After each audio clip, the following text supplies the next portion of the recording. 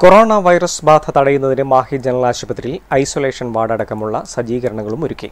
നിലവിൽ ആർക്കും രോഗലക്ഷണങ്ങൾ ഒന്നും റിപ്പോർട്ട് ചെയ്തിട്ടില്ല. ഭയപ്പെടേണ്ട സാഹചര്യമില്ലെന്നും ജനങ്ങൾ ജാഗ്രത പാലിക്കണമെന്നും ആരോഗ്യവകുപ്പ് ഡെപ്യൂട്ടി ഡയറക്ടർ എസ് പ്രേംകുമാർ പറഞ്ഞു.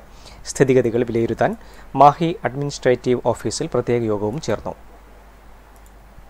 കൊറോണ വൈറസ് ബാധ തടയുന്നതിനായി മാഹി ജനറൽ ആശുപത്രിയിൽ ഐസൊലേഷൻ വാർഡ് അടക്കമുള്ള എല്ലാ സജ്ജീകരണങ്ങളും പൂർത്തിയായി. എട്ട് ബെഡുകളാണ് വാർഡിൽ ഒരുക്കിയിരിക്കുന്നത്. ആശുപത്രി ജീവനക്കാർക്കും ആരോഗ്യവകുപ്പ് പ്രവർത്തകർക്കും ബോധവൽക്കരണം നൽകിക്കഴിഞ്ഞു ജനറൽ ആശുപത്രിയിൽ ഹെൽപ്പ് ഡെസ്ക് സംവിധാനവും ഒരുക്കിയിട്ടുണ്ട്. നിലവിൽ ചൈനയിൽ നിന്നെത്തിയ നാല് പേരാണ് മാഹിയിൽ നിരീക്ഷണത്തിലുള്ളത്. മറ്റ് ലക്ഷണങ്ങളൊന്നും റിപ്പോർട്ട് ചെയ്യാത്തതിനാൽ ഇവർ വീടുകളിലാണ് നിരീക്ഷണത്തിലുള്ളത്. നിലവിൽ ആശങ്കപ്പെടേണ്ട സാഹചര്യമില്ലെന്നും ജനങ്ങൾ ജാഗ്രത പാലിക്കണമെന്നും മാഹി ആരോഗ്യവകുപ്പ് ഡെപ്യൂട്ടി ഡയറക്ടർ എസ് പ്രേംകുമാർ പറഞ്ഞു. നാല് പേരുണ്ടായിരുന്നു.